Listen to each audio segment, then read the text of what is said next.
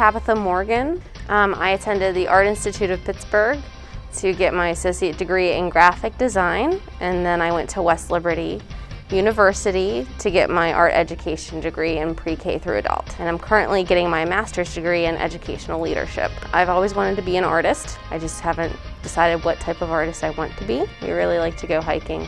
Uh, last weekend we went to Cooper's Rock.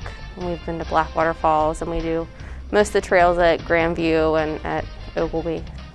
My favorite thing about teaching um, is just to pass on the knowledge of something that I love so much um, because I really love art and I'm passionate about it and it's really great to give that information to students and then see them take the information and do something with it.